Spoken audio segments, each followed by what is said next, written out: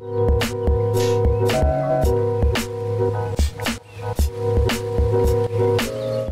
Hello guys, welcome back to the channel. I hope you are doing extremely fine. My name is Prince and you are watching the Tech Stream. In this video, I am going to do an in-depth review of the latest stable OxygenOS 13 update for the OnePlus 8 series devices. So without wasting any more time, let's get started. So it has been a week since OnePlus rolled out the stable OxygenOS 13 for the 8 series devices and since then I've been using it on my device. So in this video, I'm going to cover everything about the build, the performance, the battery backup, the charging speeds and will also share some of the sample camera shots to see if there are any improvements. If I go into the about info section, the device is running the latest update of OxygenOS 13 F.13 and the security patch is of 5th October 2022. If we talk about the battery backup, the battery backup is good. I'm getting close to 5-6 hours of screen on time without heavy gaming. However, there is kind of a little bug. When you charge your device on the lock screen, it says off charge, but when you go into the battery menu, it says super VOOC charging. And if I talk about the charging speeds, the charging speeds are also fine and I'm able to warp charge my device. It almost almost takes 40 to 45 minutes to charge the device from 0 to 100% so no issues in the charging speed also. The overall performance has been just great and I have not faced any bugs or lags in the day-to-day task. Now that I've been using this for over a week, I don't have any complaints regarding the stability part as such. The ROM just flies through pretty much everything without any issues. It is fast, snappy and the animations are very good particularly and the device just feels smooth and fluid. The background app management has also been really really good. Coming up to the camera, so here I've clicked some sample shots after I updated the device to OxygenOS 13 and as you can see I have not encountered any major changes regarding the camera quality. The pictures are sharp, the colors are vibrant but it is almost same as OxygenOS 12. I have seen many users reported the jitter issues while recording 4K 60fps video on the device so I have not faced that problem on this build. If you talk about gaming, you can play only till 60 fps in BGMI and there is no support for 90 fps. If you are a serious gamer and want to do gaming, you will need to install a custom ROM or install OxygenOS 11. However, the device doesn't heat much while gaming and, and you can enjoy your games for almost 2 hours without any significant heating. Apart from this, there are some small bugs here and there. First up, there is no font weight option for the default font and if you see another OnePlus fonts, then you get the option for font weight. However, you don't get the font weight option for the default font. Next, you will also notice some small lags and jitters while using the YouTube application. I'm not sure if it's the issue with YouTube app or OnePlus device. And lastly, if you use these icons on the lock screen, you'll notice that the text starts to appear on the top of the fingerprint icon. However, that should not be the case. So those are the only three bugs that I faced on the stable build of OxygenOS 13. So that's it for today's video. This was the in-depth review of OxygenOS 13 stable update for the 8 series. Overall, the build is very stable and smooth and you can use it as a daily driver without any issues. Comment down your opinions regarding OxygenOS 13 and if you are facing any problems, subscribe to the channel for more tech videos. Thank you for watching.